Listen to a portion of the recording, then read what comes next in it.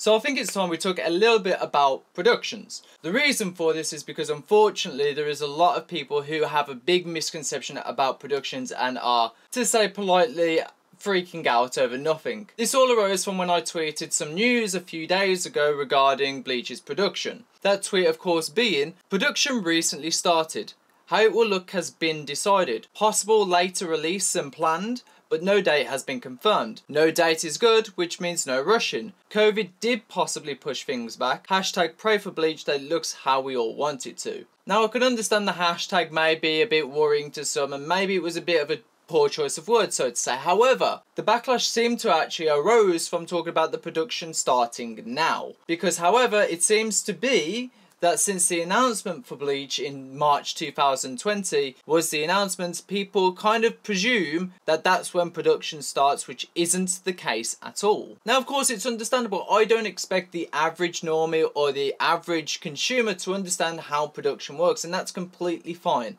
However, there's a lot of people that think they do, and it causes a bit of an upset. So, hopefully this video can clarify a little bit about productions, as well as some news here and there as well. Just because an anime is announced doesn't mean that pre-production has initially started. And it is actually very rare that series do get announced before pre-production or even production has already started. For example, the last case of this was One Punch Man Season 2 where it was announced three years before we actually got the additional product. Now granted that production was a big mess. It just was. It was rushed. The production committee wanted a product ASAP. Madhouse couldn't do it, so they gave it to someone else, and that it was just a big mess. So nothing like this context whatsoever. There's many series now that I could tell you about, which I'm not allowed to, that are, you know, green lit as of right now, but there's no announcements, and that's because of, I guess, stuff like this, right? You have to understand that the Bleach 20th anniversary was an event for many different things and not just the anime. That was for the expo, and that was also to promote Burn the Witch. The Bleach anime was just a cornerstone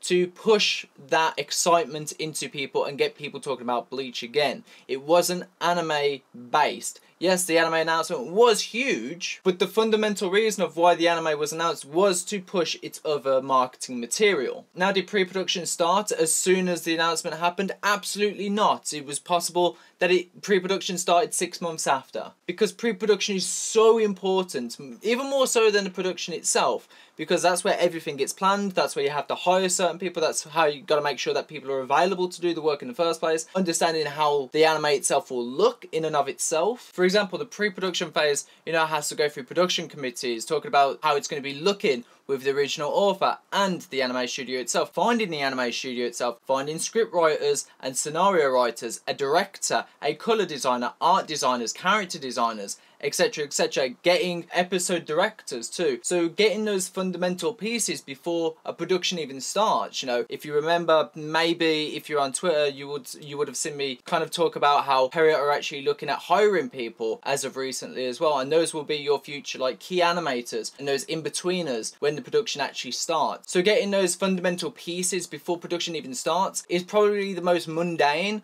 and the most you know taxing uh, especially mentally when it comes to deciding how something is going to look and how it's going to be displayed how many cours it's going to be what tv station is it going to be on what time zone is it going to be on and what censorship do they need to be aware of. You know those fundamental pieces are probably the longest tedious things that they can do for pre-production. And when production starts you know pre-production doesn't stop especially if it's a long producing anime as well such as like your black clovers and your one pieces pre-production never really stops. But in terms of like you know bleach's case like they need to get it right because they really can't you know retract you know, straight away. So they have to make sure they get it completely right. Now, of course, COVID has affected many things. Of course, like, you know, for, for example, Deer King, a random series that maybe some of you may have heard of, that series in and of itself uh, started in 2019 and is only just getting released this year. So that's been in production for quite a while. And you know, it looks great. You know, I'm glad that they managed to push back the date of their initial release and actually put out a decent product and not, you know, do a Seven Deadly Sins and still make it look bad. But COVID has affected a lot of people. And you know, I kind of appreciate that maybe Pierrot maybe want people in-house, especially with how ingrained of a project this is that they want to keep, you know, tight-lipped. You know, they probably want to keep an eye on their staff as well, who's coming in and out of the studio themselves. So again, I'm talking as if it is Pierrot. We don't actually know. I mean, I'm very certain that it is Pierrot, but for argument's sake, I'll just say we're ambiguous to it at the moment. I don't think that this is a bad thing, and the fact that it's in production now and it's starting now doesn't necessarily mean that it's not going to be at Jump Festa. Sure,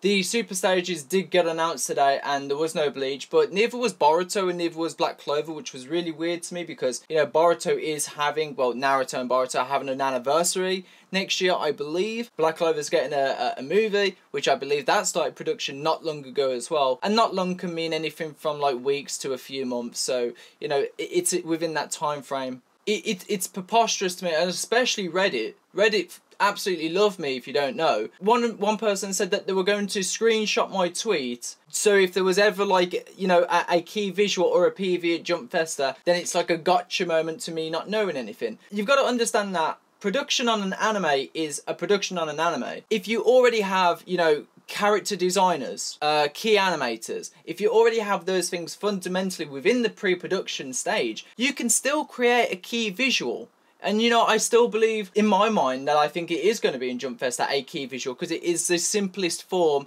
of marketing, right? To create a key visual and say, hey, this is how it's going to look. This is what the characters' designs are going to look like. You know, just like with Chainsaw Man. Chainsaw Man had a had a key visual. It probably took them less than a day to make that. I know for a fact that the the PV for Chainsaw Man only took maybe like a month or two to make, and that's uh, that was pre-animation, and pre-animation is basically like it's not you know how it's going to look. Essentially, it's just like a teaser. As far as I was aware with Chainsaw Man, is that they hired you know these animators specifically for this trailer, so these weren't clips from the anime. They might use them, I don't know, but that's pre-animation, right? So there is a chance that we can still get a key visual because again, it takes less than a day to make a key visual, maybe a week at tops. Or we could get a PV and it could be pre-animated, you know, they could have a separate team that works on it specifically. We don't know. All that matters is that, you know, we might not get Bleach until late 2022, early 2023. And you know what? That's fine. It just really is. It's not that big of a deal. You know, COVID affected everyone. I would rather a good product than one that's rushed out because you guys as the fans are so impatient. No, I get it. Like, I do. We've waited since 2016. I know more than anyone. However,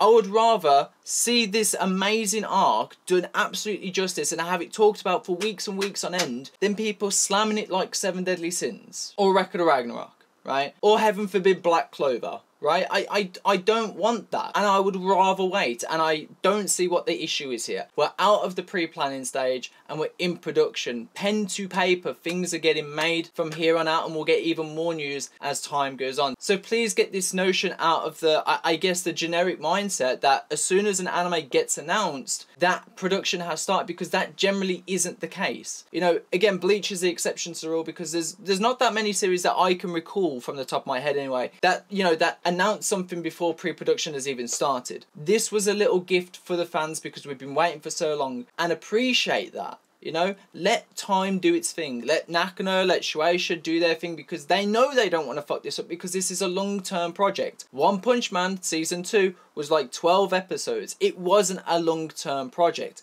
This is. And they're not going to lose massive amounts of money just to throw it down the drain. Also, this morning as well, Jump Festa showed their super stages. These super stages consisted of One Piece, Doctor Stone, my Hero Academia, and, and Jujutsu Kaisen, I believe. Many people were upset because Black Clover wasn't on there and only was there for merchandising kind of advertisements. But these uh, these four series are, are getting super stages, and you know what? That's fine because if I remember last year too, there was also some stages that hadn't been announced as well. So these were kind of like the this is happening, this is the start. Here are your fundamental super stages, and then we had some surprise stages as well, which you know could change as the weeks go on. People are getting pissed off because oh, there's no Boruto there's no there's no Black Clover. There's no Bleach. Again, if, things have happened with Bleach, like like we've just discussed that they are, chances are they probably aren't going to you know show anything yet. You know, like I, I I'm not I'm not expecting a super stage. Again, I don't even really know the difference with a super stage really in comparison. As long as we get a stage in general, I'm not too overly fussed. Uh, this will be online and in real life as well, so we're gonna get to see some really cool stuff and, and merchandise and promos at the event itself, which is gonna be cool. We're also gonna be able to see the events because it's gonna be live streamed as well, so that's gonna be really cool to see. Uh, all of these series make sense in and of their own right because they are, I guess you could say, the staples of anime within Shueisha and Shonen Jump, so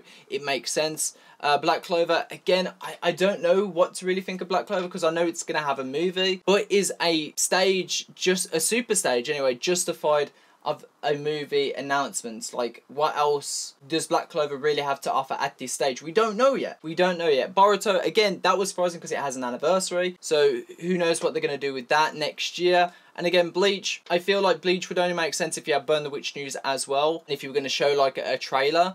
But going currently, it doesn't seem like that's the case, and it seems like to me we're still just going to get a key visual. But look, I want a PV more than anyone, and I will try and damage control it as much as I can. But nothing is really screaming out to me that this is the case as of right now. However, if my mind does change, I will flip that uh, opinion. However, we are getting some Bleach news next week in regards to the Expo. But I wouldn't worry too much about the anime as a whole because Kubo did say on Club Outside, and I only say this just to just to reassure you guys. You know, anyways, I, I I wouldn't have really shared it, but to be honest, I do feel like you guys really need it right now. So Kubo basically says, I've been fluttering with Bleach's exposition and all the anime. It's hard, but it's fun to do things I've never done before.